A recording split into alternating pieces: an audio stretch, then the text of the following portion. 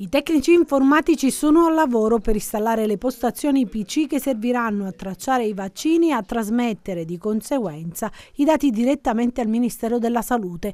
Qui siamo al centro organizzativo territoriale di Cosenza e oggi abbiamo fatto un'incursione per verificare qual è lo stato dell'arte. Si registrano i vaccini immediatamente nel momento stesso in cui vengono somministrati e trasferiti subito tramite questo sistema, eh, questo software eh, a livello nazionale in maniera tale che si monitora costantemente l'andamento dell'attività vaccinale. È un momento importante, un altro tassello eh, rispetto alla eh,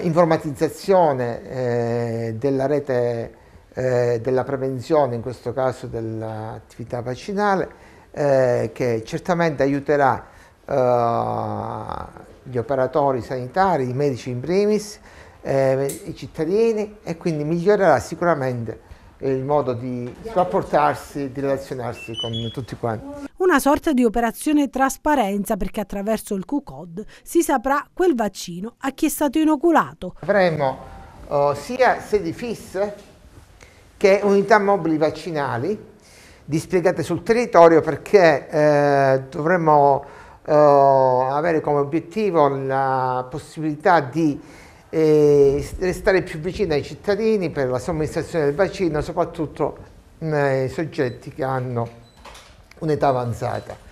Eh, è una uh, grande sfida perché richiede un dispiego di energie e di risorse importanti che sono sia di natura tecnologica come queste, perché saranno le prime, poi saranno ulteriormente arricchite, eh, sia dal punto di vista delle risorse umane.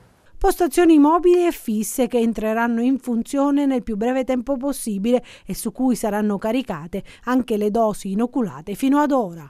È un working in progress chiaramente, ma che ci eh, solleva da um, numerose responsabilità come quella della tracciabilità, quella della trasparenza, eh, ma soprattutto permette anche di eh, rapidizzare i tempi, quindi questo ci aiuterà moltissimo.